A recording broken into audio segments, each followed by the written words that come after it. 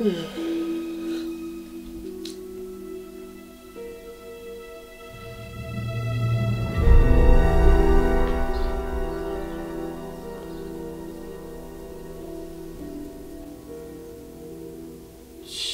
now. Yes. Have you kidnapped me? What? What makes you accuse me of that? Well, look around. I'm in a completely different place whilst you're in the pooper. Oh, okay, yeah, no, okay, yeah, yeah, yeah, I, I, I see the confusion now.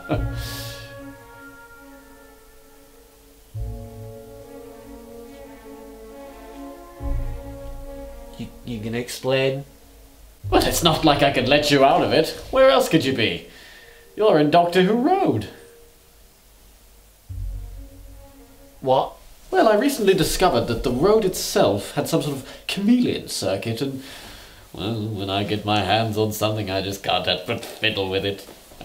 Okay, well, what made you settle on this? Has it got uh, lots of cool rooms, like a, a- swimming pool, a, a strip club, eh? Not exactly. It got stuck, didn't it? It sure did! Let me give you a tour of my mistake. Here's the entrance. Most doctors have their own flat, but, uh, well, not all of them. Some weren't as lucky as others.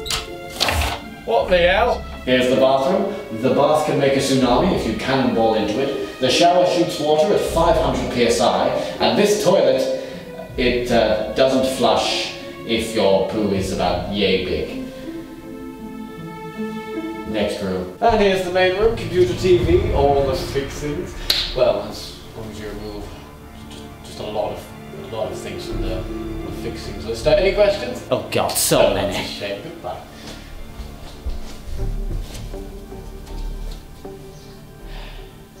Well, this was unexpected.